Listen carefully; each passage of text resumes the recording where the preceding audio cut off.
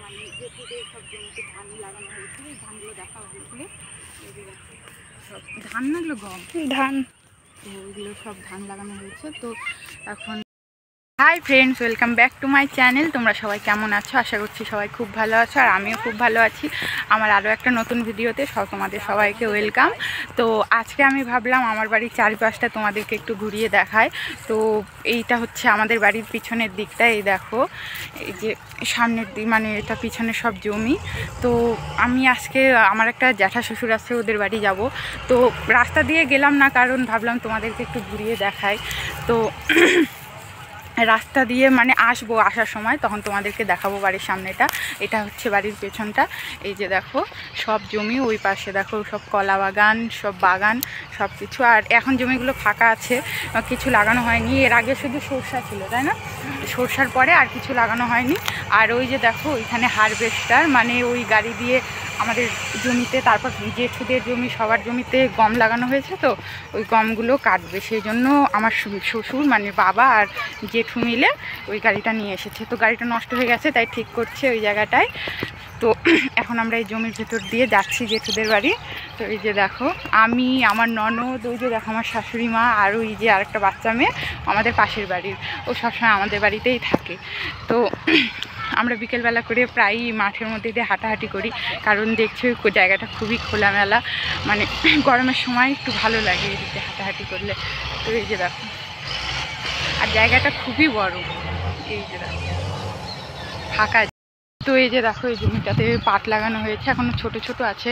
যখন বড় হবে তোমাদেরকে দেখাবো, তোমাদের সাথে শেয়ার করব। তো এই জমিটা হচ্ছে জেঠুদের।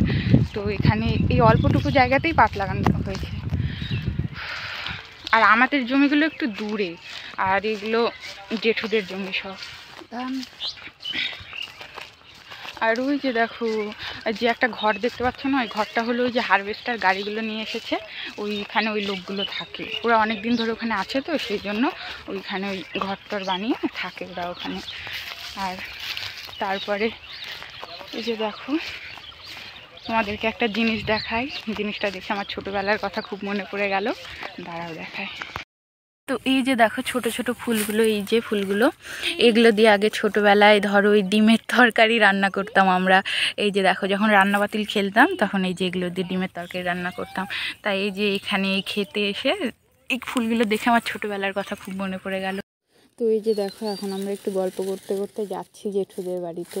তো জমিতে আর একটা জেঠু ছিল, ও বলছে, বৌমা, তুমি ফোনের দিকে তাকিয়ে একা একা কথা কেন বলছো? কী করছ? তাই জেঠুকে বলতে বলতে যাচ্ছিলাম আমরা। আর একটু ছোটোবেলার গল্প করছিলাম। ফুলগুলোর কথা আমার ননদকে বলছিলাম যে, তুমি খেলে দেখো মানে জেঠুদের সব জমিতে ধান লাগানো হয়েছিল এই ধানগুলো দেখা হয়েছিল। যে সব ধান না এগুলো গম? ধান। ওইগুলো সব ধান লাগানো হয়েছে। তো এখন আমরা একটু তোমাদেরকে তো বললামই এখানে ঘুরতে এসেছি। মানে ঘুরতে না ঠিক একটু হাঁটাহাঁটি করতে এসেছি। বিকেলবেলা কোনো কাজ নেই। তো কী করব? ঘুম টুম থেকে উঠে ভাবলাম একটু হাঁটাহাঁটি করে আসি। তো ওই যে ওই সাইডে দেখো আমার শাশুড়ি মা আর একটা বড়মা বসে আছে। ওই যে দেখো জুম করে দেখো। ওই যে দেখো, ওরা ওখানে বসে আছে। তো জমিটা একটু ভালো করে দেখাও। দেখো কি সুন্দর লাগছে দেখতে। গোটাটাই সবুজ হয়ে আছে। আর ধানগুলো যখন পাকবে, তোমাদেরকে আরও একবার দেখাবো। তো তোমাদের কেমন লাগছে অবশ্যই কমেন্ট করে জানিও। তো আমি মাঝে মাঝে কথা বলতে গিয়ে একটু হেসে ফেলছি, তো তোমরা কিছু মনে করো না। কারণ এই মানে এই জমিতে এখন বর্তমানে অনেক লোক আছে এখন বিকেলবেলা তো তো সবাই এখানে বিকেল করে ঘুরতে আসে। মানে ঘুরতে মানে হাঁটাহাঁটি করতে আসে। তো ওরা সবাই আমার দিকে হা করে দেখে আছে ভাবছে যে একা একা কী এমন কথা বলছে আর একা একা হাসছে। তো আমি ওদের দিকে তাকিয়ে হেসে ফেলছি মাঝে মাঝে, তোমরা কিছু মনে করো না। তো এখন আমরা যাব জেঠুর বাড়ি। তো চলো তোমাদেরকেও নিয়ে যাই। চলো।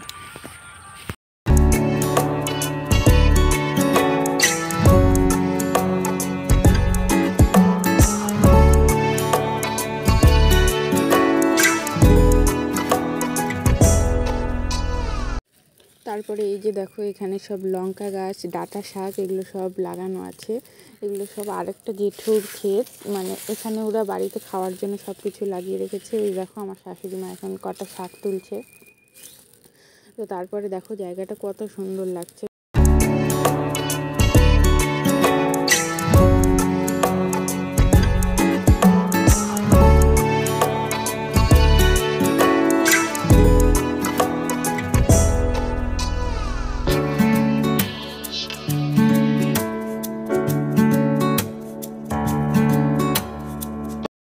দেখো আমরা জেঠুর বাড়িতে চলে এসেছি। তো জেঠুদের বাড়িতে আমরা ঠিক ঢুকিনি কারণ আমরা গিয়ে দেখলাম বাড়িতে কেউ নেই সেই জন্য সামনে থেকে ঘুরেই চলে আসলাম। আর এই যে এটা হচ্ছে জেঠুদের বাড়ি।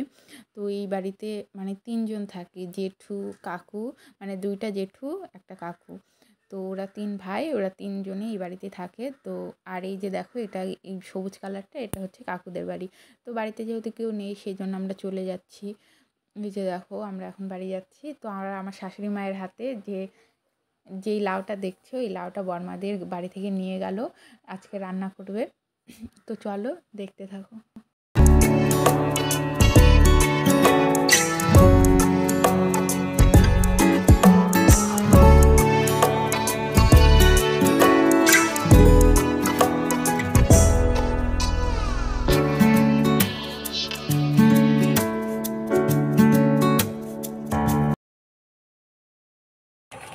এই যে দেখো, জেঠুদের বাড়ি থেকে এখন ঘুরে আসলাম। তো যাওয়ার সময় রিসা বলছে ওর নাকি খেতে পেয়েছে। তো এখন একটু ম্যাগি কিনতে যাচ্ছি।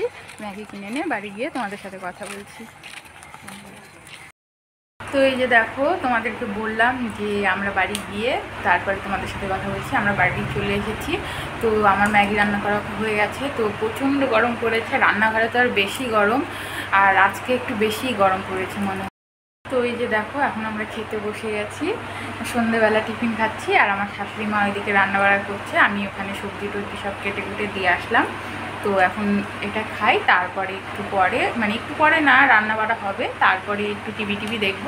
তারপরে খাওয়া দাওয়া করে এসে তোমাদের সাথে কথা বলছি।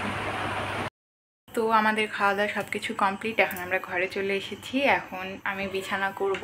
আর তোমরা দেখতেই পাচ্ছ আমার চোখ মুখ কেমন চোখ টোকগুলো দেখো, এই দেখো, লাল হয়ে গেছে আর চোখগুলো ছোট হয়ে এসেছে। কারণ প্রচণ্ড ঘুম পেয়েছে আর অনেক রাত্রি হয়ে গেছে, এখন ঘুমাবো। আর এই যে দেখো বিছানা করা হয়নি বিছানাটা করে নিয়ে ঘুমাবো। মানে বিছানা আমাকে ডাকছে যে তুই আয় আয়।